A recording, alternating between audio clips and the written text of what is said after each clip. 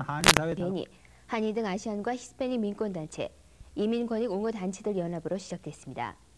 미주 한인 봉사교육단체 협의회에 속한 민족학계와 전국 중국인 연합 관계자들은 오늘 기자회견을 갖고 각종 반이민법 제정 반대 의견을 오는 7월 중 워싱턴 포스트지에 전면 광고를 게재하기로 했다며 동참을 호소했습니다.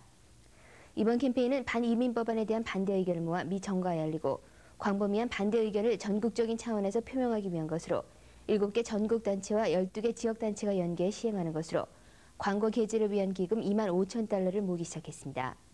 워싱턴 포스트지 광고 게재를 위한 후원금 문의는 전화 213-735-5448 민족학교로 하시면 됩니다.